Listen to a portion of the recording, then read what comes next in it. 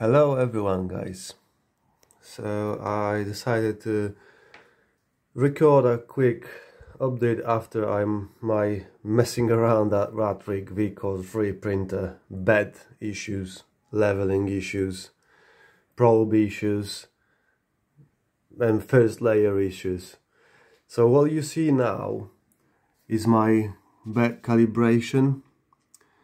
It may look awful on the screen as a, as a picture but if you look at the scale at the moment I've managed to get down with the variance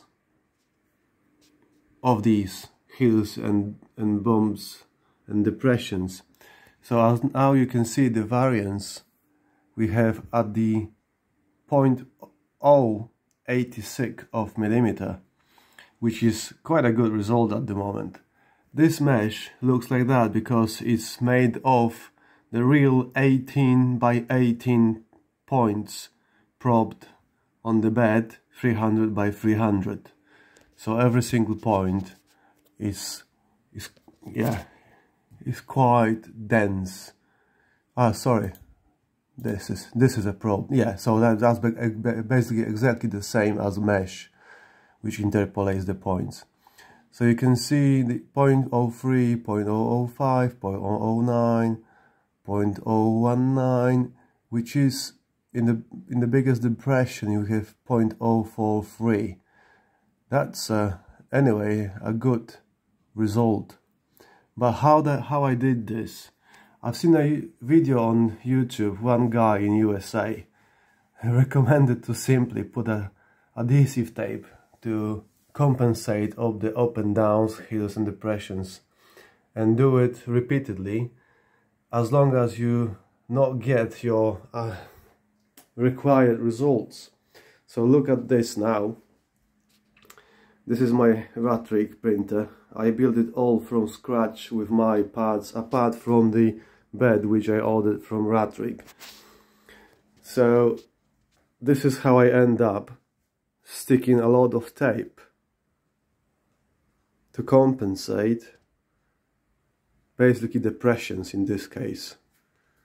So wherever you can see the tape here, few even even few layers down on this corner, it gives me a proper level of the bed. Previously that one was way lower according to the bed mesh calibration. It was like point uh, 2.3 mil down from the zero level where now you can see I actually have it slightly higher than the zero level but if we scroll over this it's only 25.025 which is nothing to be honest. As, as I said the variance is now really minimal. It may look big on the screen but in reality it does the job. So conclusion is ah forgot one very important thing. I've changed my BL Touch to SuperPINDA probe, which is really working fine on all the metal bits. Obviously that's my build plate, so you have to have that if you want to use induction probe. But the good uh, benefit having this probe is that it's not affected by heat so whenever a bed is cold or very hot, it actually measures the same. So I think I've got it. And finally had a nice consistent print of the first layer, which I require as my product, which I sell, needs a nice smooth finish of the first layer, which is crucial for me.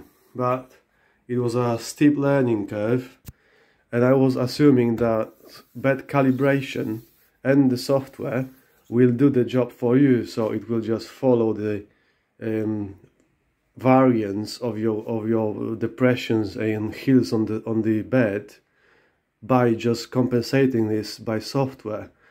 And moving obviously up and downs accordingly the, the bed. But it's not the case guys. If you want to rely on this only, you'll never ever get great first layer layout.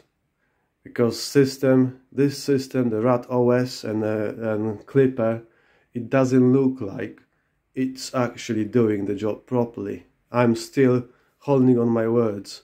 It doesn't really do the job properly or at least it doesn't really do the job fully. It may compensate a bit but not fully. That's the thing. If you have too much variance on your bed you're not gonna have a good layer adhesion on the first layer because you have to make sure your bed is dead flat. Well in in in tolerance of about 0.1 across whole the bed then I personally after I got that variance at around 0.1 across whole the bed I get the consistent first layer which is always laid down nice and smooth and I don't need to worry about leaving the print and then coming back with a lot of mess because one of one part just went off the bed because of it was too high or too low or whatever. Now it looks consistent and who would think about it? I thought at the beginning that this system can compensate any any depression but it's not guys it's really not get your probe changed, get a SuperPINDA or whatever, clicky or something which is not affecting, which the temperature is not affecting it. Uh, I think uh, you can get some clicky probe which is used on the Voron printers. There is another one, but I forgot the name. You can make them by yourself easily as well.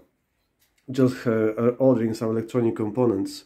But SuperPINDA was just an easy way to go for me. it was like 25 pounds in UK, so it wasn't that bad.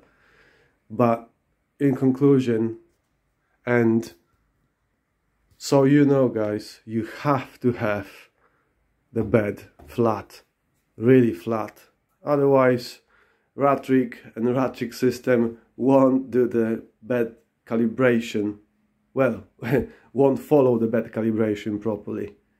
So that's it. That's it. I hope this video helped you.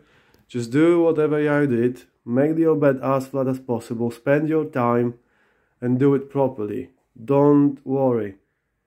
It works for me. It really works for me. So that's the only way to do it, at, at least for now. And all the best, guys. And hopefully you get your prints better some, from now.